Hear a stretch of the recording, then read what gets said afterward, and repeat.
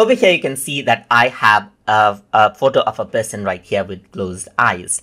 And if you want to make those eyes open, then what you can do is you can go around over here onto the eye tool and click on open closed eyes. So once you do that, what happens is that it'll analyze out the picture that you have right here. And then you can choose from one of these sample eyes right here. So you can go around and click and you can see that the eye has been replaced. And you can see the before and after right here.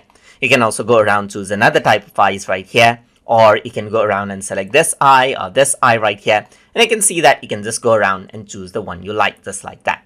So once you're happy, you can go around and press OK and those eyes will be applied and you can see that it looks quite natural right here. Let me just go around and press Ctrl Z and click on open closed eyes once more. What you can also do is you can go around and browse photos from your photo bin right here or from your computer as well and choose from the um, uh, photos uh, that you have right here. So I'm just going to go to computer right here and I'm going to go around onto my desktop where I have a person with open eyes right here. Let me just open that out right here and you can see that it took that eye. You can go around and click and the eye will be replaced as you can see just like this from this particular photo over here. And you, you can see that it didn't even take much time right here. And you can go around, press OK, and that uh, those eyes will be replaced as you can see just like that.